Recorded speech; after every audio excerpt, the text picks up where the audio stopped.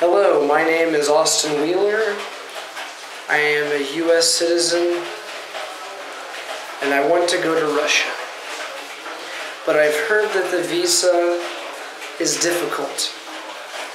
However, I know a few things about Russia that maybe it would be less difficult, maybe it'd still be difficult, but like if I commit some act of like heroic treason or something against the US, maybe I can stay forever in Russia.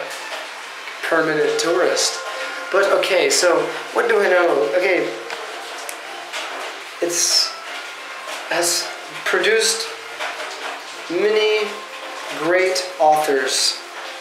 I love Tolstoy and Dostoevsky and even the guy who wrote about his pedophilic relationship with his stepdaughter, Lolita. Um, also, I Russian people seem very disciplined, very disciplined and powerful. So I I need to learn some discipline and maybe get you know some more testosterone going on or something. Um, but also break dancing. I like I like the dancing. The dancing is nice. It looks like break dancing. I saw some soldiers doing a really choreographed, cool dance. I would love to learn that.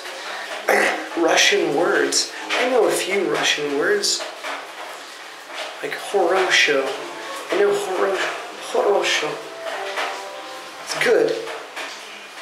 Null. Zero. Zero. So life. Nizn. Nizn. Death. smert. I don't know the how to pronounce. I just looked it up online. Smert, It's death. Insky. Actually, no. There are many words that end with insky. I know that.